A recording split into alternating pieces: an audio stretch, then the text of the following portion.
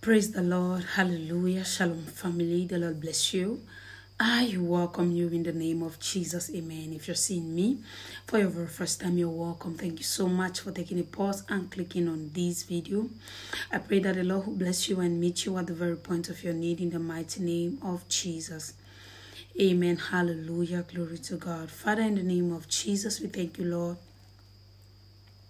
for yet another prophetic word. We thank you for what you have been doing for us, protecting us, providing for us.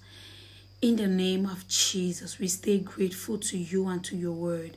In Jesus' mighty name. Amen. Hallelujah. Glory to God. Now, the Lord instructed me to come and pray for somebody. The whole of this week, this past weeks, you've been so worried, and there is no peace in your house, there's no peace in your heart. And God says, I must pray for you so that you don't, um, the next week, you don't feel bad and it is already.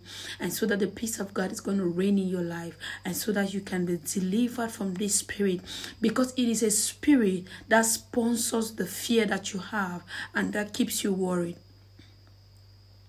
I want to pray for you that God will take away the spirit of fear. God will take away this thing that is causing you to worry a lot, and God will establish His peace over your life, over your house, every four corner of your house. The four corners of your house receive. They receive the peace of God in the name of Jesus. I pray for whosoever that needs this word in the name of Jesus, by the blood of Jesus.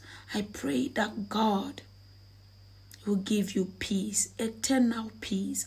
God will give it to you in Jesus' mighty name. Amen. Hallelujah. Glory to God. Now may the Lord bless you. May God keep you. May God cause his countenance to shine upon you. May God be gracious to you and may God give you peace. In Jesus' mighty name. The shalom of the Lord. May nothing be missing for you. And may nothing be broken for you. You are blessed of God in Jesus' mighty name. Amen.